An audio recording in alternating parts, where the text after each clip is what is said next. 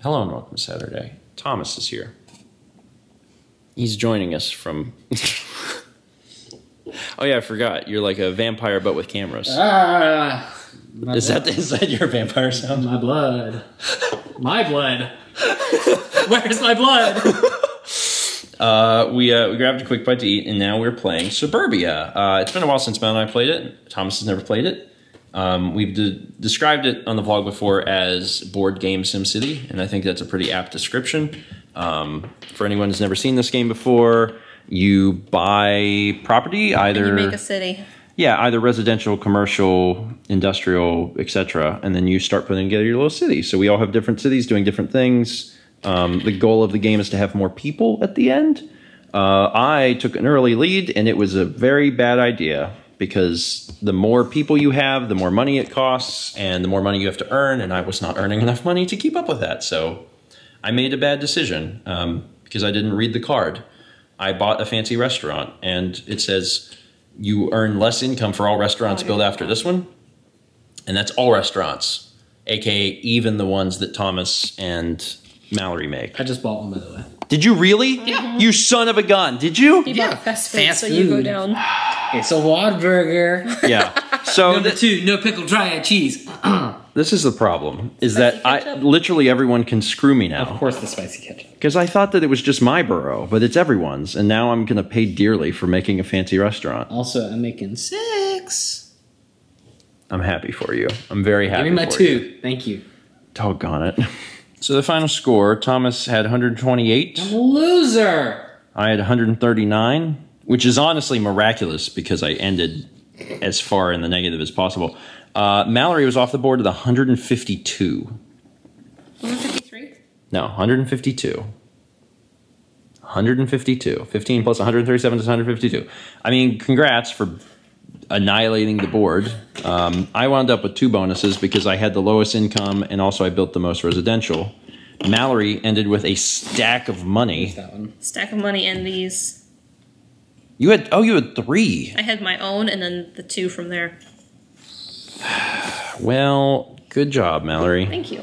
Thomas, you did really good for your first time playing. This game's confusing. I thought for sure I was going to lose because I spent the last two rounds with basically no money. Uh, I also learned very quickly that um, if you don't have income, especially if you have negative income, uh, this game is real difficult. Yeah, I could have played this a lot better, but at least I built lots of residential. Dan, I'm so glad you made it. We have to go eat. Okay, I'm sorry. I'm It's fine. late. It's fine. You you drove from Florida, Yeah, I know. and now Thomas has got to drive back to Florida. But first, we have to eat food. Star-crossed lovers. Ship's passing in the night. Yeah. Bye. Bye. We got hibachi. We got it to go, so we could come back and eat at our uh, table. That's what we did. Because Thomas has got to leave pretty soon. Mhm. I'm sorry, Dan. I'm glad you're back home. Me too. It's fun. Fun. It's fun to be home. Yeah. I mean, that's true. Thomas, you gotta go home, and it'll be fun when you get home too. It will. My cat.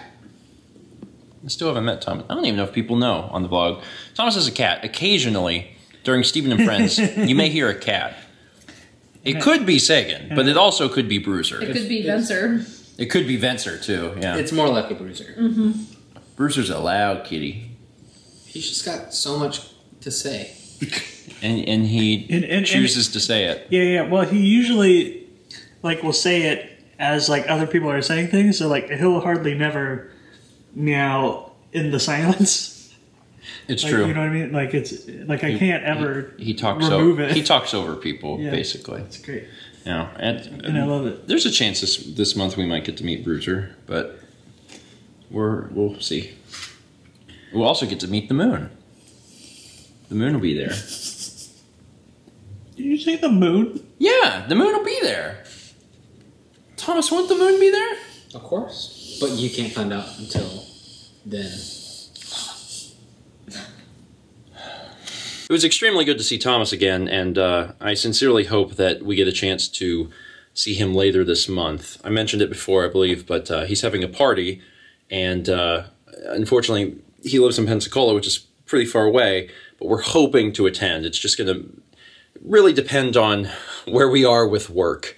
Um, if we've made a lot of progress and we feel like, okay, yeah, we can do this, or if it's like, oh crap, we really should not take you know three days to to go down there for the for the party. So we'll see what happens. Um, it's also good to have Dan back.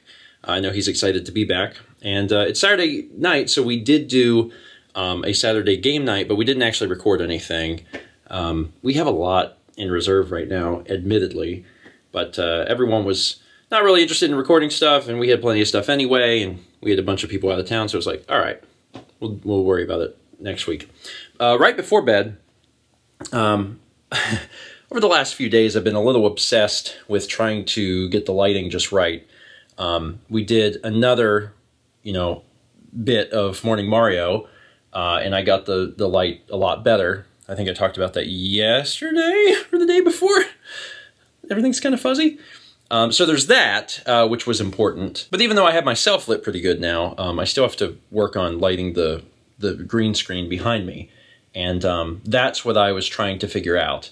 Uh, I was trying to figure out exactly how I wanted to light that, um, how I felt about the studio lights that Mal got for Mal Makes when she first started, and and how what what their light output truly is compared to what we can do, and then also um, trying to solve the the problem that I pointed out uh, recently about how I had to move the desk out to get these stands back here. So I think I may have solved some of those those problems. Now, if I get that figured out, I will be very excited to share those results with you guys because um, having desk mounted uh, lights is more convenient because you don't have to have stands behind your desk and move your desk out. So I ordered some stuff that is fairly inexpensive that I think is going to do the trick. And I'll take a look at it when it arrives next week. And I guess we'll just go from there. And I'm hoping that it's going to work. Anyway, that is it for today. Thank you so much for watching. Tomorrow, I'm going to be doing something I haven't done in a while, and that is playing Magic. It has been a while. I can't remember the uh, can't remember the last Magic event I actually went to, but tomorrow is the uh, the debut of um, the Magic 2020 core set, and core set was always one of my favorite sets to play because um, at least while it was current, uh, they would bring it out every year, and they kept a lot of the same cards. So even if you had been away from Magic for a while, you could always return to the core set and it would feel familiar. Now, I haven't played a core set in a long time, partially because they actually stopped doing it for a few years. Um, but it sounded like a lot of fun. Austin wanted to go, and I was like, yeah, you know, I'll go with you. I think it'll be a good time. So I haven't played Magic in a bit, um, but still know and love Magic. And uh, of all of the sets that I would possibly play and be able to feel familiar with instantly, core set is definitely number one on that list. So tomorrow, I don't know how I'm to do, but I'm to go play the Magic 2020 core set with Austin, and um, we'll see what happens. Uh, Player's Choice is the one that's doing the uh, pre-release, and it's actually uh, this is actually the third day of it. Tomorrow will be because um, you know it's July 4th weekend in Myrtle Beach. There's a lot of people here. There's a lot of people that come on vacation but still want to play Magic, so they decided to run a, uh, an event Friday, Saturday, and Sunday. So we're actually um, doing the the tail end of this three-day launch weekend. So should be a lot of fun. I'm looking forward to it, and uh, we'll see see how rusty I am. I'm hoping to win some, um, but there's always a chance that I'll be like, oh, I lost a lot. We'll find out tomorrow.